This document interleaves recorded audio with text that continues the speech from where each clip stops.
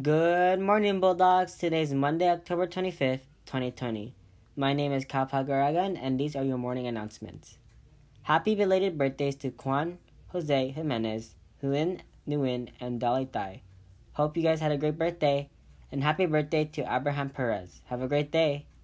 Today's after-school activities and clubs are esports, homework center, piano, fantasy soccer, AOK club, leap targeted math, stories around the world, baking with bulldogs, and finally coding. For your spirit announcements, today's Purple and Gold Monday. Tag and send pictures on Instagram to Mr. Brengard. As you know that this month is Breast Cancer Awareness Month. Did you know that breast cancer starts as a cancer cell that is from inside the tissue of the breast? Last week's theme was planning, and this week's theme is skill. I hope these wise words from Stacey Abrams help you understand skill. I like solving problems.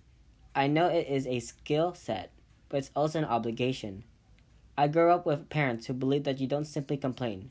You try to find solution and fix what's in front of you. Have a mighty Monday, Bulldogs!